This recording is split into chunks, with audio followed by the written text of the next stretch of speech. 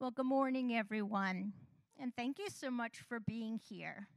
I hope those who are not joining us in this room in the auditorium have the opportunity to watch this on Channel 95. We have a lot of important information to go over during this time that I think is very good for all residents to see. So we'll have this replaying as we have done up until now with the PowerPoint that you've seen, the presentation. Um, and please review it. And please see Marty if you'd like a copy.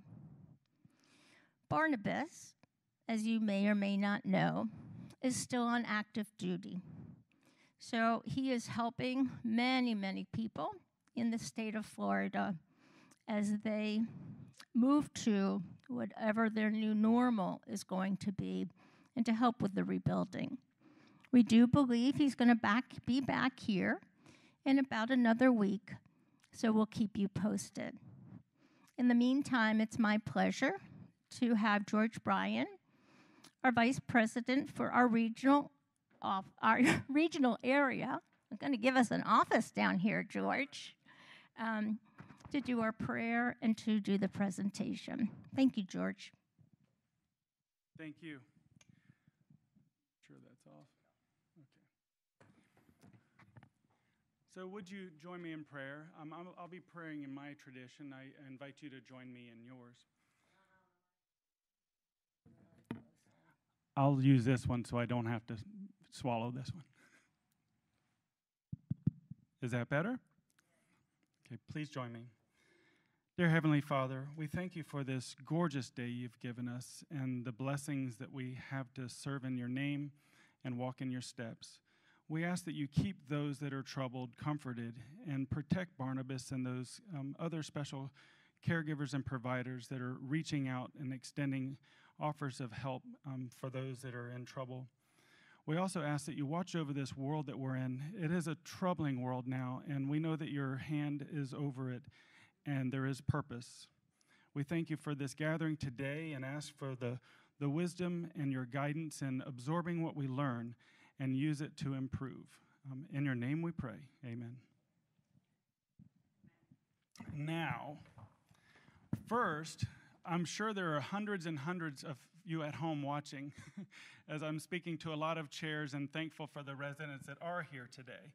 Um, and I just wanted to, just a, an advertisement. There's nothing like being here. So when you can make it to a town hall, it is an opportunity for a live dialogue. And there's a different synergy in the room. There's nothing also for some like the comfort of home, and maybe you're still in your PJs. Um, but I do want to just make sure I've, I talked to a few residents who just expressed to me the importance also of being able to gather at these occasions. Um, next, I want to thank you for your flexibility. Um, this is at least the third attempt to schedule this meeting, and the, the final issue obviously was um, Hurricane Ian and its impact that it had um, on the west coast of Florida. Now, you may already know that your community was prepared.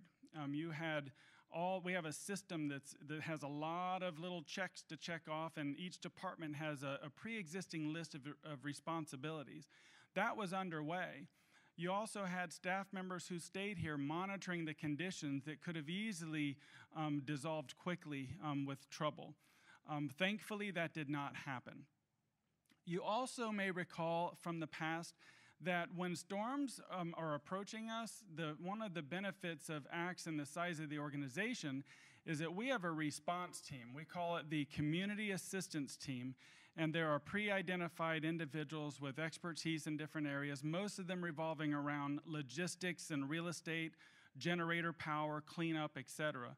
They were actually positioned um, and waited in Jacksonville until the storm really finalized its path because they didn't want to get stuck on the wrong side of the storm if it were to turn. So, in other words, if it would have made a curve towards the panhandle, they didn't want to get caught on the wrong side. Um, they did move down closer to Indian River Estates um, during the storm and were on site for the storm. And a second team then was in the mid Atlantic or mid South region waiting for the, the storm because, it, as you know, it went out in the Atlantic and back in. And while it turned into a rain event, Um, floodwaters, you know, are the number one killers of storms. And also, even light winds in areas that don't experience a lot of winds have down trees, power lines, so the aftermath, which sometimes is much more difficult to manage than the storm itself.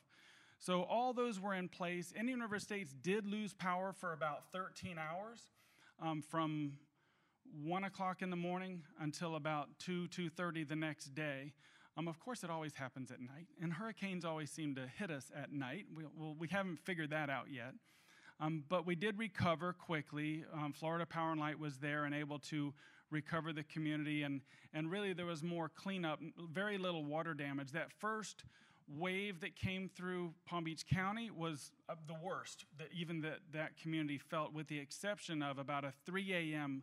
Um, wind that came through. And it, it really cut not too far north of the county, of Indian River County. Um, so a close call. And we can see what the devastation can do from a direct hit on the coastline, which is important to remember, on the coastline for a category four, close to category five. But I, I, just wanted to leave you, hopefully, with the comfort to know that you're never alone, that there's an army of ACTS employees ready to assist. And if the community would have some level of significant impact, I can assure you that all hands on deck would be the call, and we would get assistance from all across ACTS and obviously governmental sources, et cetera. But, but we're very self contained when it comes to these types of events. But it did lead us to rescheduling the meeting, so thank you.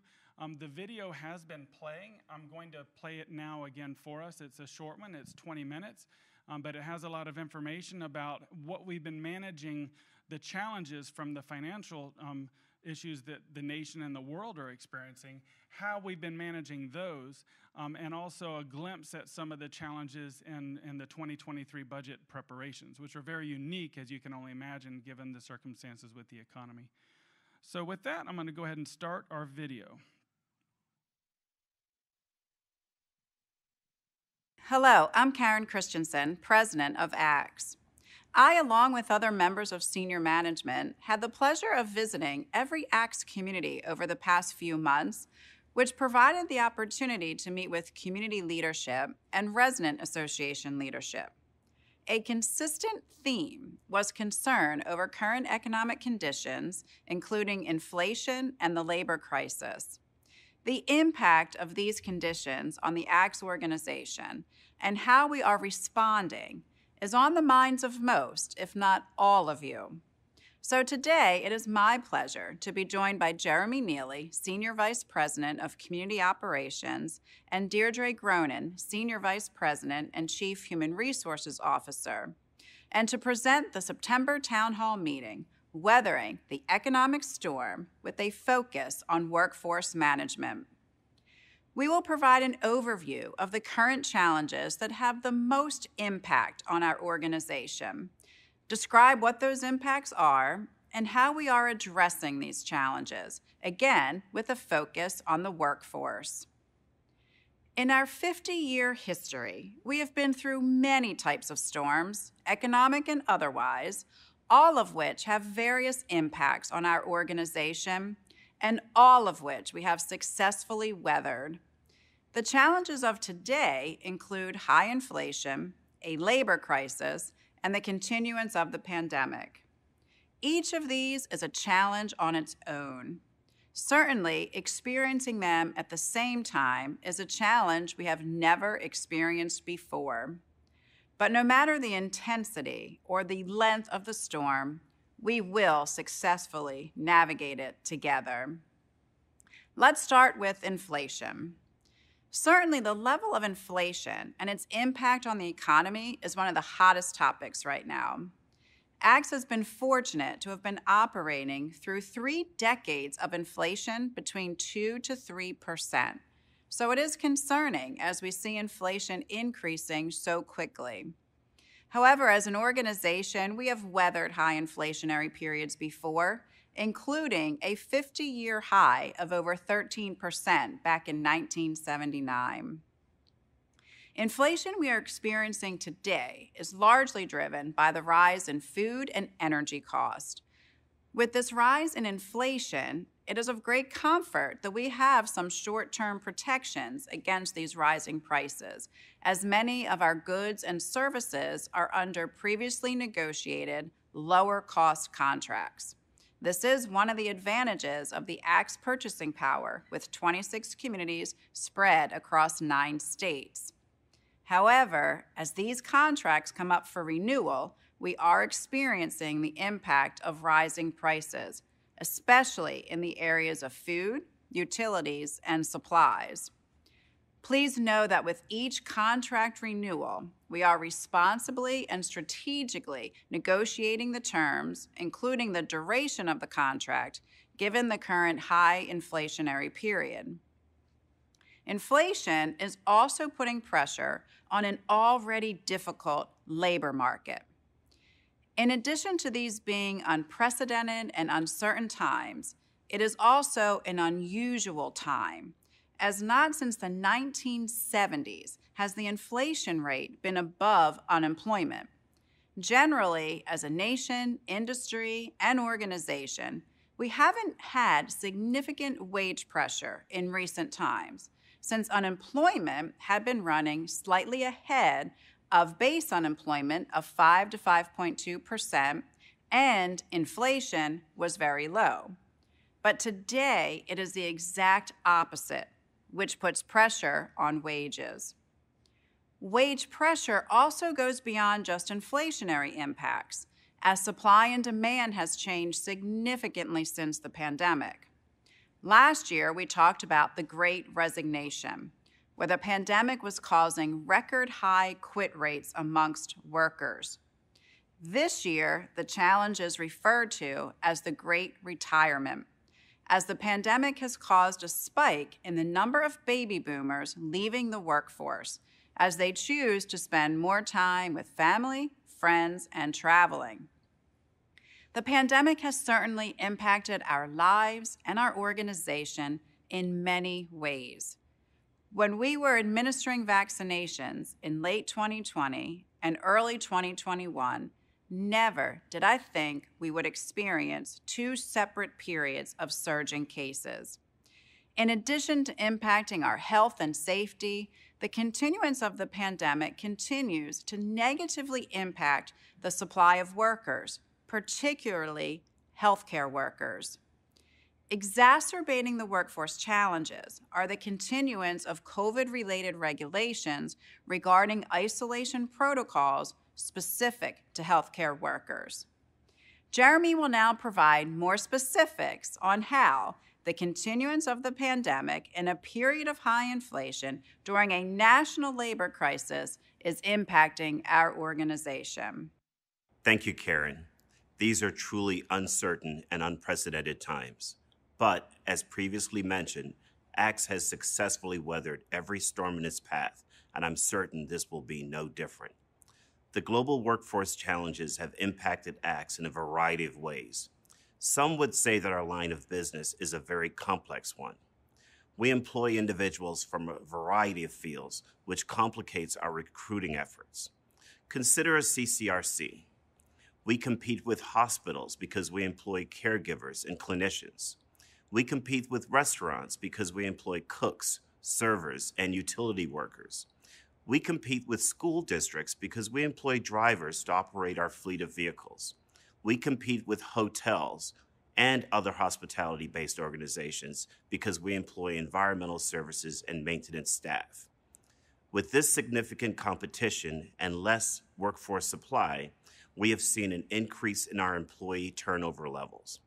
Our strategic target is to maintain turnover at 15% or less. Pre pandemic, we were very close at 16%. Today, that has grown to over 25%. As turnover increases, this certainly interrupts service delivery and increases our costs.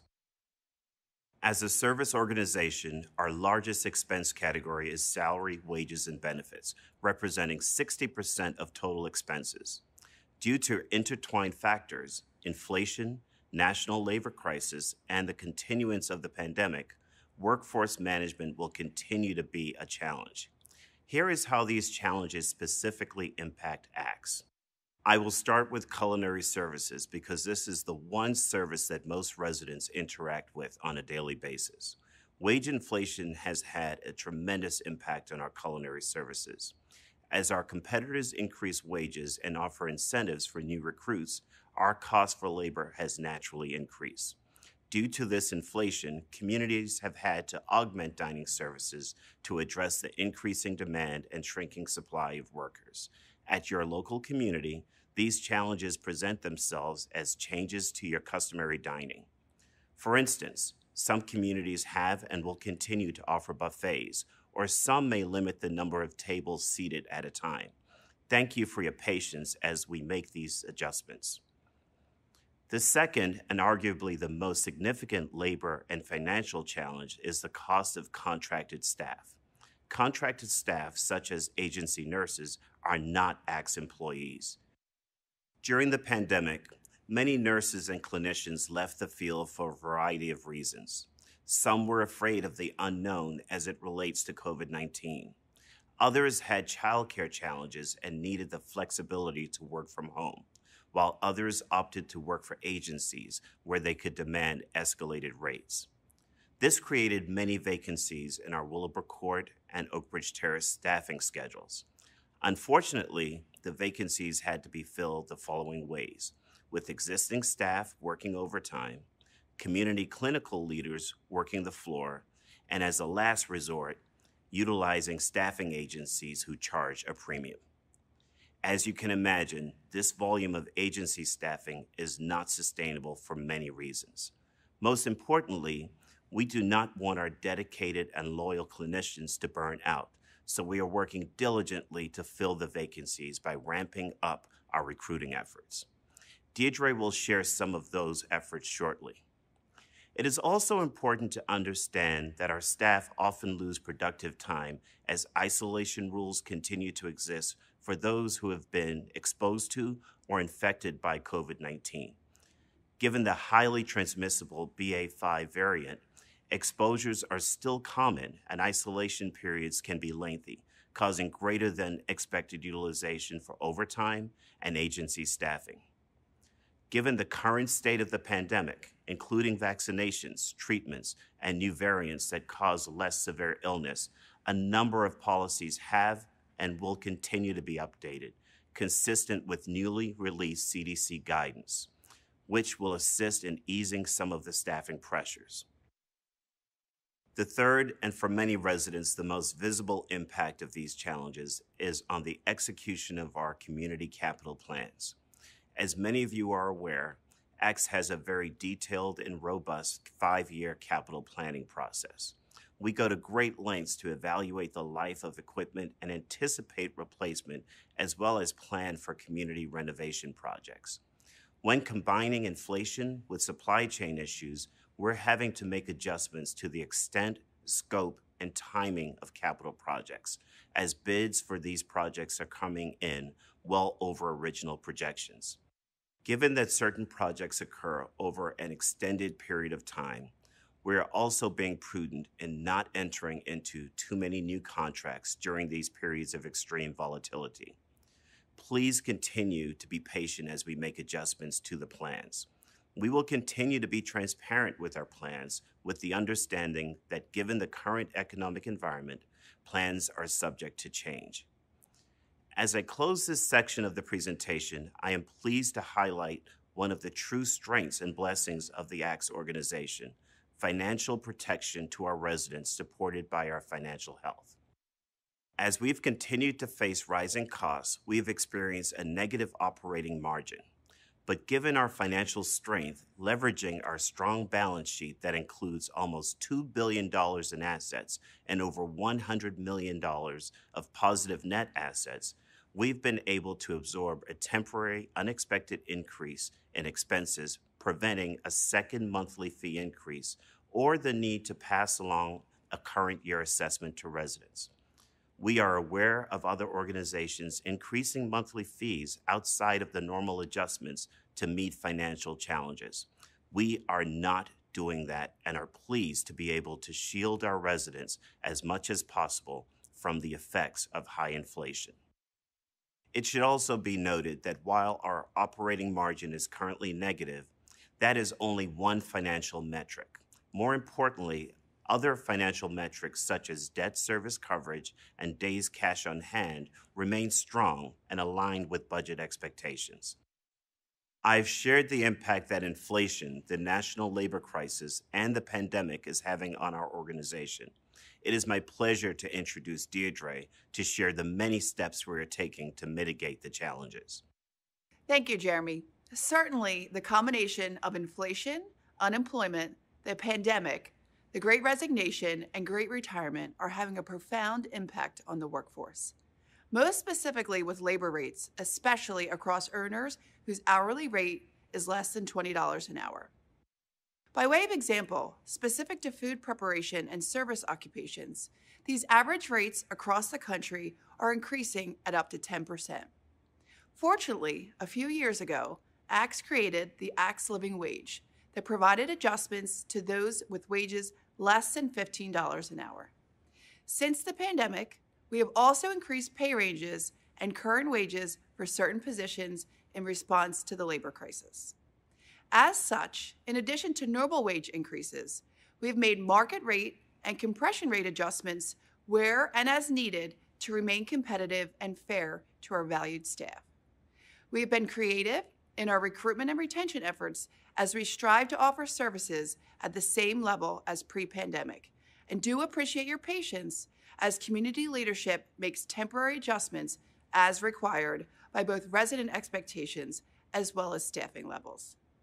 We continue to review and focus on our pay rates and shift differentials for our clinical staff to adjust where needed to assure our competitive position, which will also help to eliminate the use of agency nursing. Sign on bonuses have been utilized based on community need when roles have been posted for a long period of time without successful hiring. We also recognize that there are other factors beyond pay that are important in recruitment and retention strategies. As such, we are updating job titles and job descriptions to ensure they are consistent with market trends.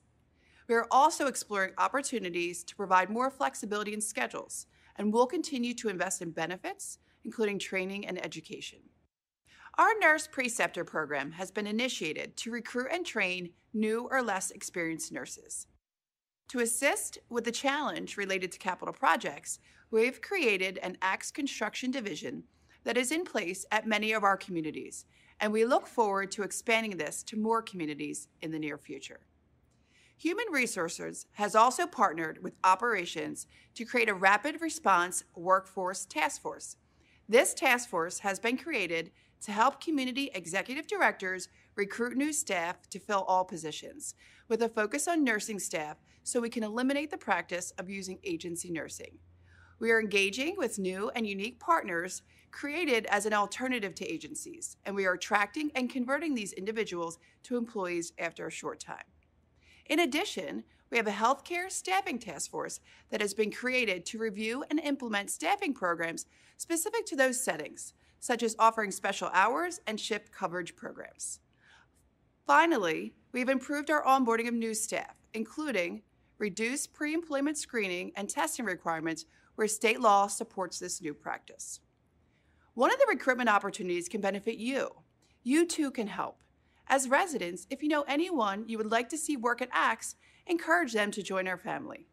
Please visit your community business office to complete a referral form and have that person apply at our job site, www www.acts-jobs.org.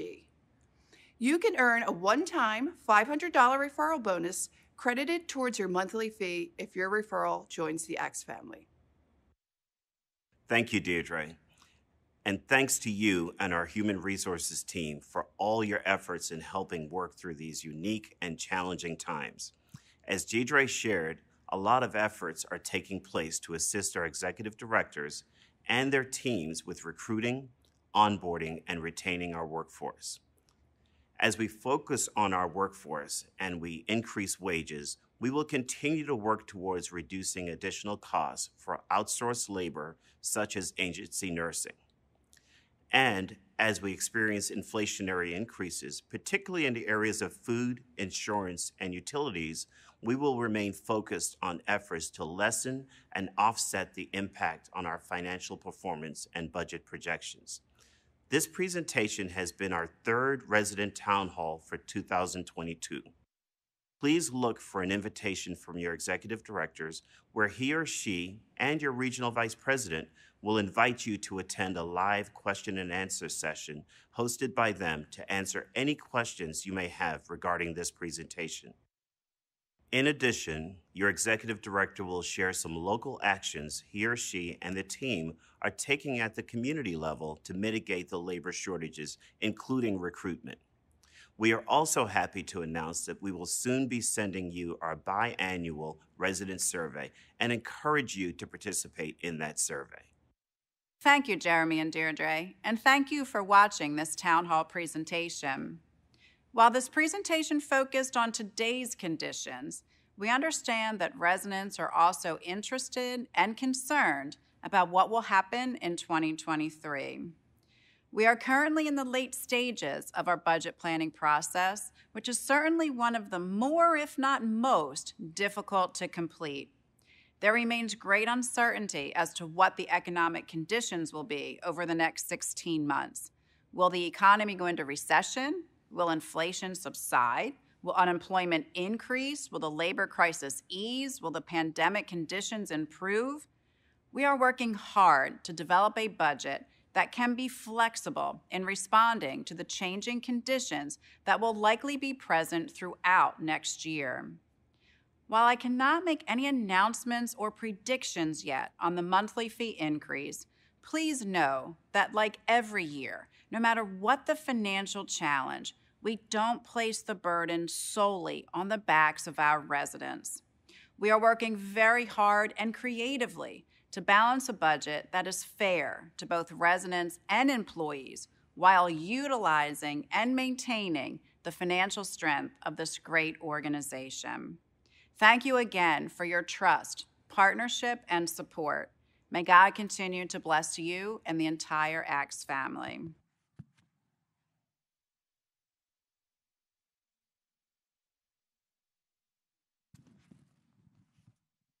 Okay, um, a lot of information and a lot of details as to what's going on behind the scenes today to control expenses for this year.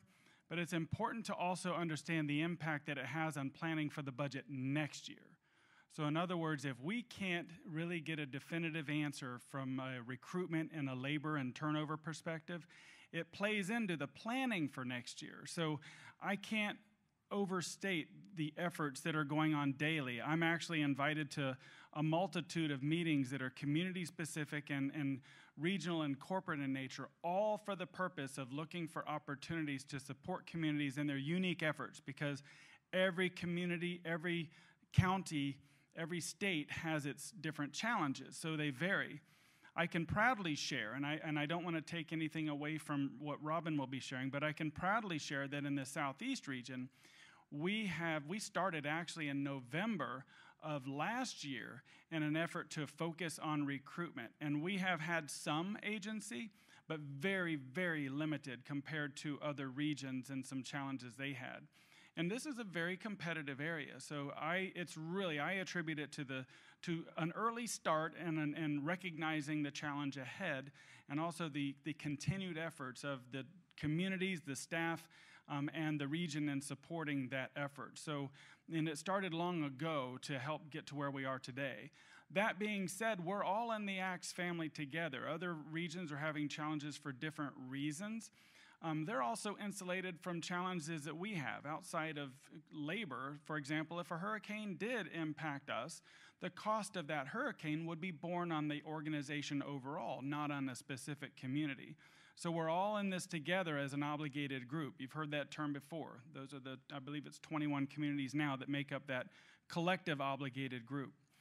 There were a couple of other efforts that you feel, one specifically that's talked about that you feel and may have an opinion about, but I wanted to tie it to efforts so that you're aware of the reason. And that's the talk about in the effort to go to a paperless newsletter, so to have the electronic newsletter. Um, and another, another paper, we have it in, it's, it's actually in a, from an expense perspective, it falls in paper, but it could be plastic, but it's this takeout containers. When you have takeout or take something out from the dining room or the bistro, um, collectively as an organization, actually half step back, the takeout. You know the green clamshells, the going green, we actually purchased those company wide during the pandemic because all of a sudden, because we were dining in your, t- delivering to your home, our paper account just went crazy. And then supply and demand, the cost of that also went up. So we had to control those expenses.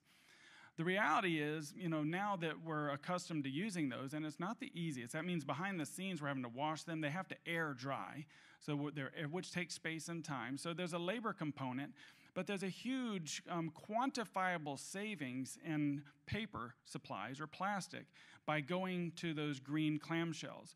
Right now, we're very close to pulling the trigger on going to that now, and the expectation of cutting our paper budget down next year to be able to help control any increases that you would have. Now, between the two, between the newsletter and the, those clamshells going green, these are George's calculations, but it's well in excess of half a percent. So by doing that, we're able to take a controllable expense because we can't control everything. We can't control Florida Power and Light's charges to us. We can't control some of the cost of, of labor is actually industry driven. There are a lot of things we can't control of your monthly maintenance fee increase. You know, that I, I just, in my rough calculations, that number, it's roughly about $1.2 million as a company if we go green with those clamshells and also um, go to digital newsletters. I do want to acknowledge that not everyone has access to a computer. Um, not everyone is really comfortable using that to look at their newsletter. So we understand that there's a, we need to bridge that gap.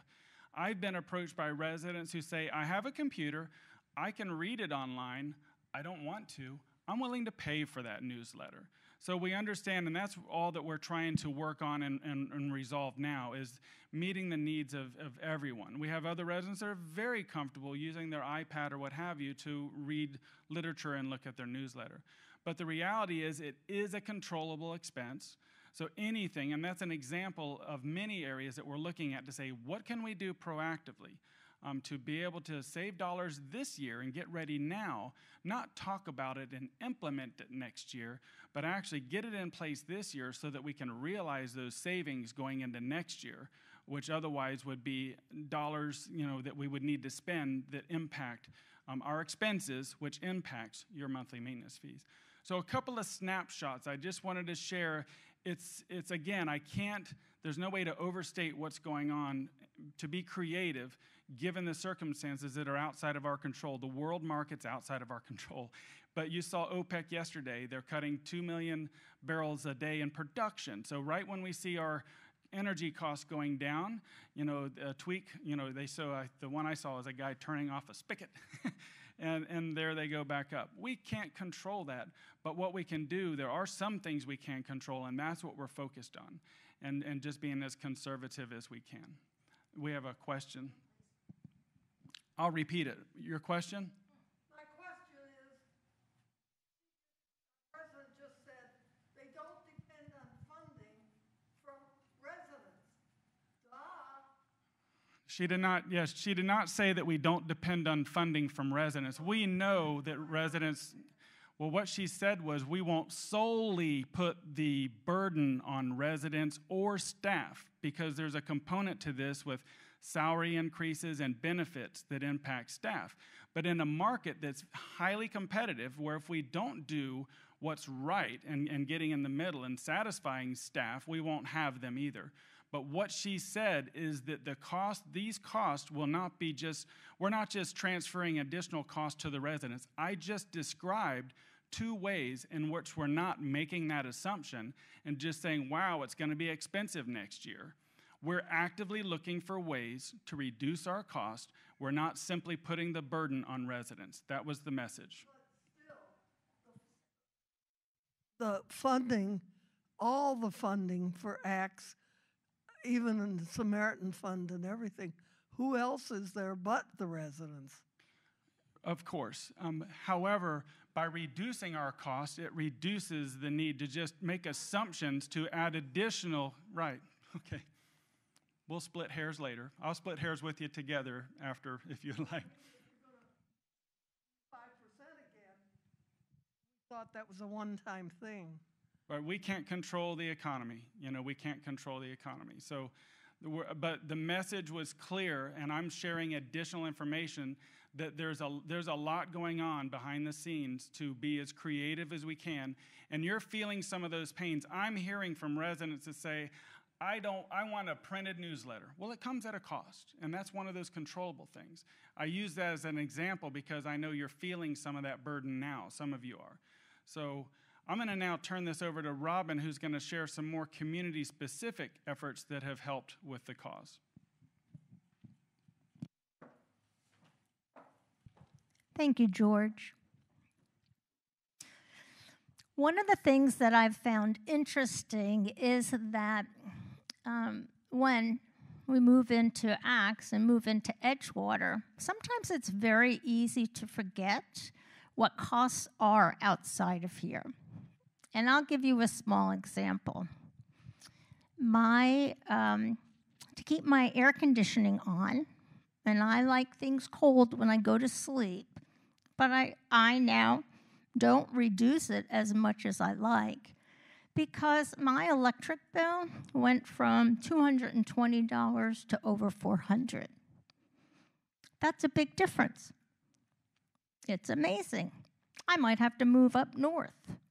But I do think it's a good example of how outside of here we do get a different perspective that sometimes we lose when we move in here. And that goes from everything. Just the having the convenience of putting in a work order.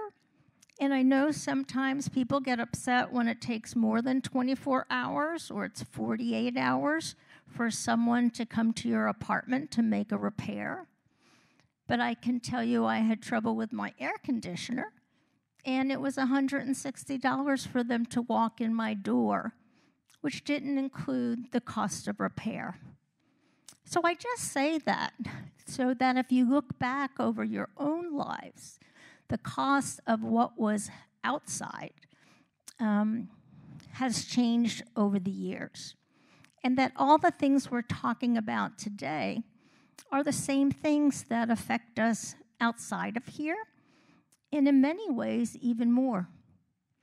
So I just want to preface that because I think sometimes we lose that frame of reference. And I do agree with everything that George is saying. Um, as we've addressed COVID, as we have addressed many things head on, and I believe ahead of schedule, we have been able to do a really incredible job taking care of everyone here as well as our employees. And that makes a big difference. And we'll continue to do so.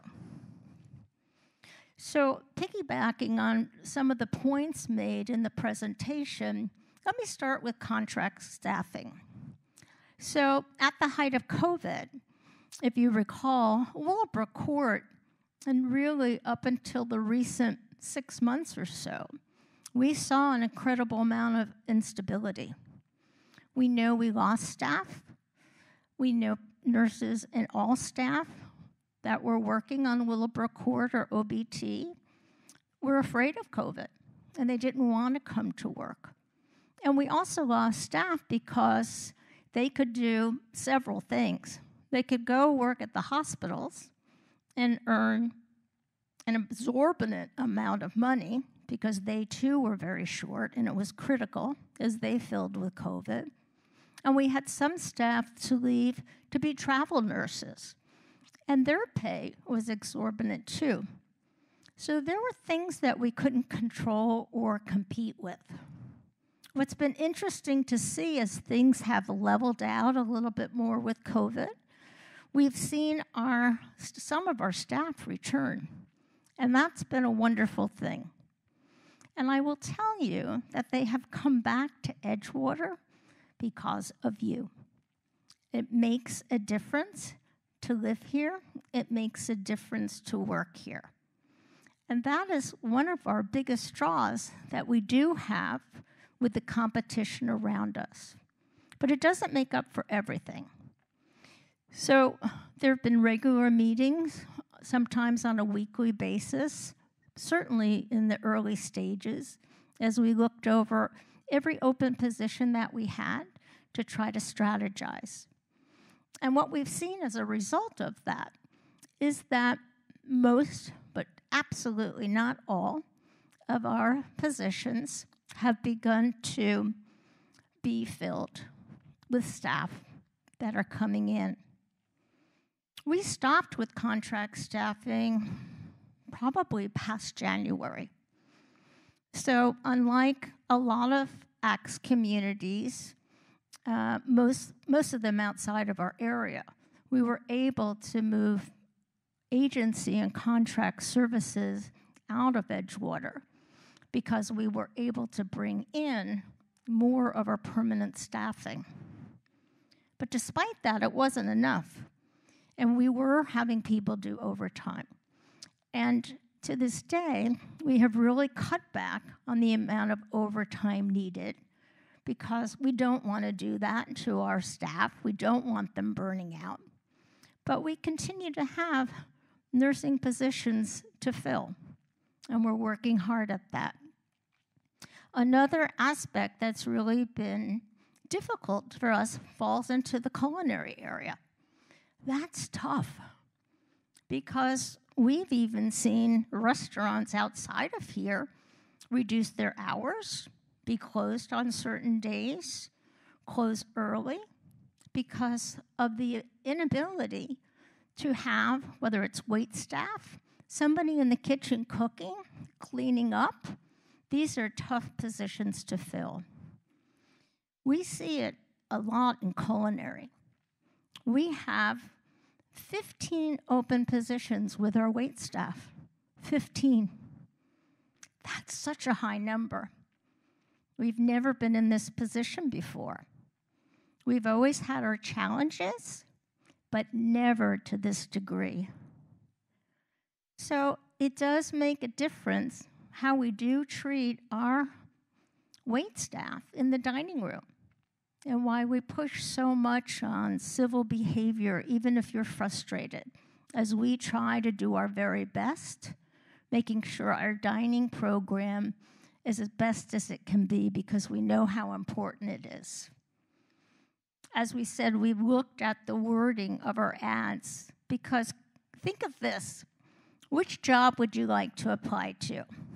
Cook needed, hours, 7 to 11, versus come work in a beautiful gated like community. Have hours like you've never had before. Be able to be with your family and enjoy life after 9 p.m. Would you want to apply to the first one or the second? So, even things that seem as simple as that make a difference because we need to find a way to differentiate ourselves from the hundred of restaurants in our area that are doing the same thing. We want to make it a good reason to apply here. And even with those changes, we're still short in our kitchens.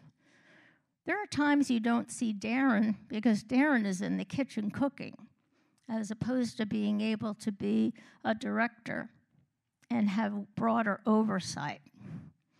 I've volunteered in the kitchen. I do preface it by saying I'm very good at scrambled eggs. They have not taken me up on the offer, and I'm still a little bit confused by that. But to George's point, it's why we do have the buffets. And we don't do them often. We prefer not to. But you know, just recently, we had more than five days of buffet. And that's directly related to the number of wait staff we have to be able to bring your dinners to your table. And when we can't do that, we then need to resort to the buffet. And we do that to make it as beautiful as we can. And I know yesterday went very, very well and was absolutely delicious with the breakfast that we had. And I hope everybody was able to enjoy it. So, looking to be competitive, we will never pay the highest wages, but we will pay competitive wages in specifically in positions that are hard to fill. And what's been done is that our Boca market is going to be different than up in Pennsylvania area. So what ACTS does for us is a competitive analysis that's specific to the Boca Raton area because we want to make sure that what we're paying as an hourly rate does compete with the restaurants that are out there. And we always are able to help with work life balance. That makes a difference too. And while we've been going over this, I can say that our retention rate has remained strong. It's gotten stronger as we've leveled out through COVID to we are now. We have positions that have remained very strong, such as environmental, maintenance. We do struggle with security. But the nursing teams, to include our CNAs, our dietary aides, and you can think of a dietary aide the same way you think of our wait staff. That's just the name we use for Willowbrook Court and OBT. Those are positions that are challenged. And what we used to do, now I have to say what we used to do back in the day, was that we would always have a pool of CNAs or nurses so that if someone did need to call off, if somebody was on vacation, if they had a child sick and couldn't go to work, we would have a group of people that we were able to call to be able to come in. We don't have that anymore. So it is our directors and managers in OBT and Willowbrook Court that are working those shifts.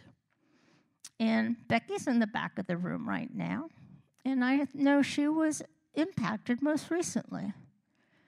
So people who were able to focus on big picture and help with scheduling and where programs are going and the changes we want to make particularly during the height of COVID, needed to be on the floors, making sure we were providing good care. So we have seen a reduction in that, but it still continues and is going to continue for some time. That being said, we have had a lower turnover rate, which is wonderful.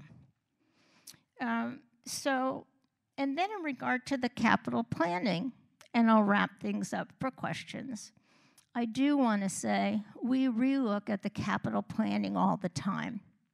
I do want to reassure you that the plans that we have for this year will go unchanged. And by that, very soon, if not tomorrow, you'll see work beginning in Building A. So the project of painting, recarpeting, carpeting, uh, and looking at the residential lobby will still occur. And that's our commitment to you. We do know with the recent talks, with all the challenges that we've had with Wi Fi and internet, that has made a big commitment to us.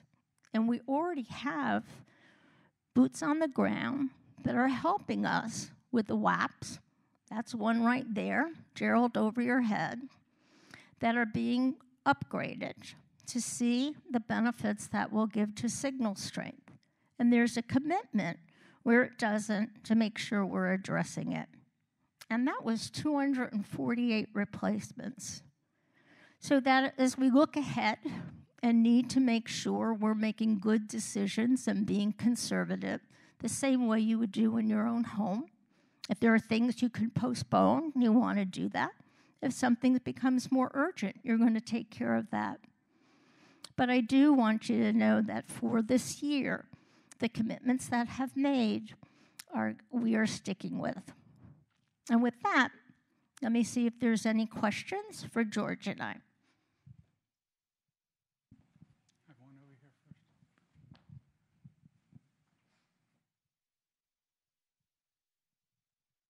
My name is Sally Davis, and I'm going on my 17th year at Edgewater. Have to say I like it. But I will say that my move in fee 17 years ago, do you think it's ever gone up or down? It's gone up. It's gone down for several years during the recession. And whereas my maintenance fee when I came in Tell you. Barely over $2,000, it has gone up every year by a percentage. But I paid a move in fee of almost $300,000 when I moved in to move into a two bedroom, two bath, 280, I believe, to be exact. Now, why? That's where our capital funds come from, as I understand it. Our capital funds have to be spent differently from our maintenance funds. Is that true? Our entrance deposits make a huge difference. And Dahlia's in the back of the room. And I think we can say, come on up, with pretty good certainty, Sally, that those entrance deposits have not gone down. Yeah, I would. Um, yes, they've gone up.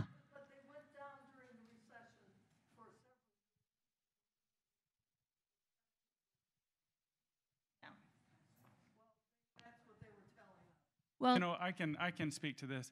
I would ask if I I, I doubt your assumption about your fee. That being said, there are different programs that we have to promote sales. An example is an as is apartment. So right now we have a special, if you will, for an as is apartment. So you move in, you take it as it is, no questions asked, here's the price. It is likely less than uh, an apartment that we would need to spend a lot of money on in order to prepare. But I would uh, privately, uh, if you have that assumption, I think we can clear that up for you and let you know. I mean, we have records to show what your fees were. Um, but I, I, in 17 years, that's not likely because every year we also do adjust the, the cost involved with apartment renovations. You're correct on your assumption about how fees are utilized, that a large portion of, of your fees when you move in for that unit, it's not a real estate purchase, but it's prepaid health care for you, a good portion. We utilize those often for um, projects, you know, for our, our, our um, capital projects. That's true. That's true. But we can't manipulate the market. Like if we can't move a unit, we can't get a new prospect to come in, we have to be creative. So we have a lot of special ways to be creative. But costs have increased over the years. Costs for us have increased. Cost of just maintaining real estate has increased. And with that comes increase in cost for the life care contract as well as monthly maintenance fees. The other thing, just to add on to that, there's five different plans.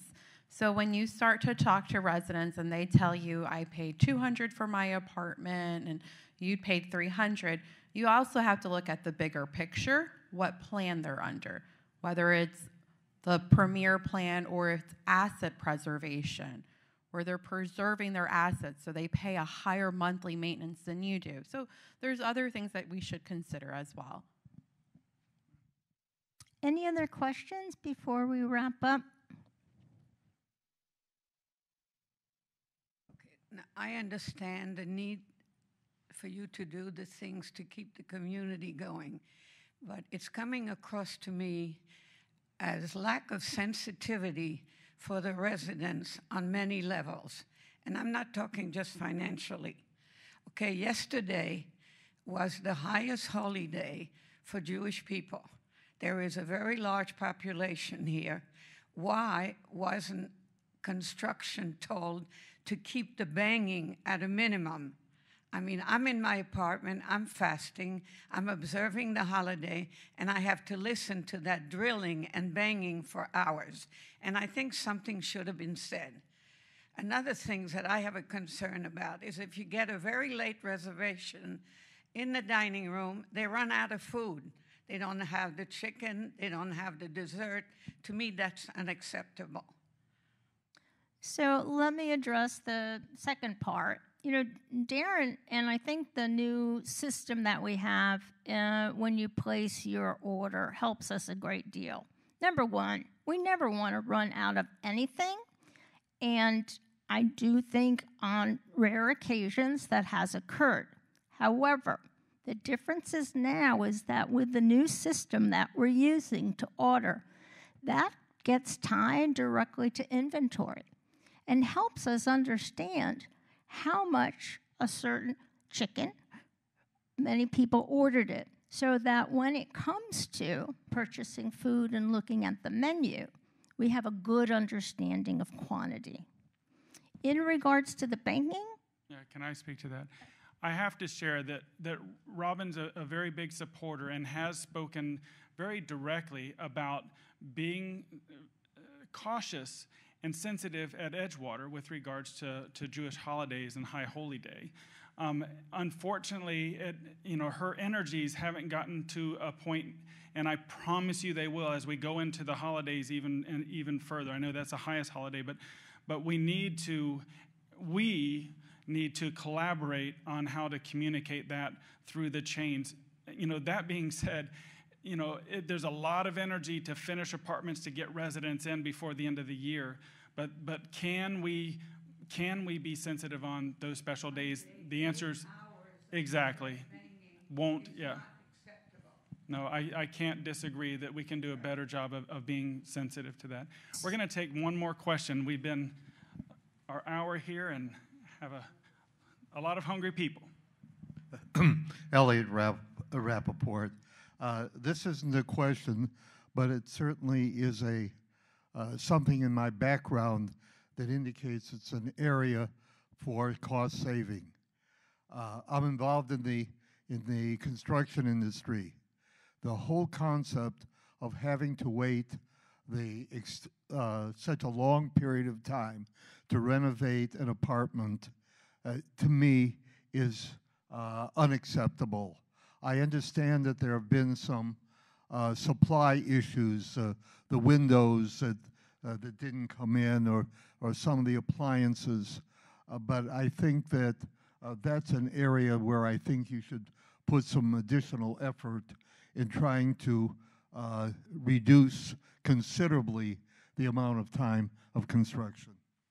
And Elliot, I can just say, and George can uh, add to it, this has been an area that we have been heavily, heavily focused on because we know the time frame makes a difference. I want to add, and I'll use your example Windows. Our contractor has act- proactively, on their own accord, on their own dime, purchased windows in advance of getting a permit, of getting the job, so that they would have them on site. So I would say, Mr. Rappaport, that I'm sensitive to your concern, but what you don't know, you don't know what's going on behind the scenes. There are, we had a meeting yesterday, an hour and a half meeting with a whole collective maintenance project or the um, apartment restoration team, focusing again on what we can do to cut the time that it takes. It's complicated and we don't control all aspects, but our vendors are even on the same page with us to try their best to get um, the supplies they need to have stocking them. We did a, a recent project at Indian River County that's underway now. The vendor, before they started and before they actually gotten draws on equipment, had the roofing materials um, supplied ahead of time. They had all the stock, they built the stockpiles because they know of the challenges. All of our vendors have that conversation and, and have those efforts. It's a nice thing about having the relationship we do with them. There's, there's trust, um, but Complete Property does buy windows in advance and stock them so that they can not have that particular area as a delay. Does it always work? No, there's always that strange window in that corner that's a little different. You know, if you're in construction, there, it doesn't always work, but you make your best effort. But, but point well made, and it's an area that we continually have dialogue about on how to shorten that time. Palm Beach County for ACTS is the longest for apartment renovations, and most of it has to do with the county and then the city of Boca Raton for St. Andrew's Estates. Very complex. And Delia has a comment as well. Yeah. And then we'll close on this remark. I also want to say labor issues play a role in this as, as well. Delia, did, you can speak to it if you'd like. But that's what we find. When we talk about labor shortages, that's an area that's deeply affected. So we need to figure out, and it's difficult. How do you get full crews? How do you get more people to be doing the work itself? I want to thank everyone for being here. George, I'm so glad you were here today. I thank you. And if you have individual questions, we can talk after this. But I hope everybody has a very good day. Thank you.